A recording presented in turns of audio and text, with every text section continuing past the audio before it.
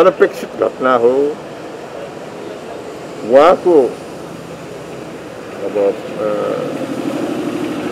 उहाँको धेरै गुनासोहरू सार्वजनिक भइसकेका थियो तर हाम्रो कुरा हुँदाखेरिमा चाहिँ यी सबै कुरालाई अलि धैर्य लिएर छलफल गरौँ भनेर मैले अनुरोध गरेका थिएँ।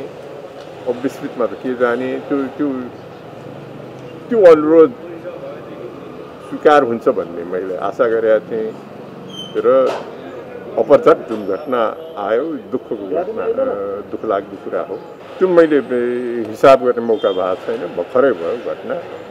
अब पार्टी यी तिनवटा कुरामा अगाडि बढ्नुपर्छ।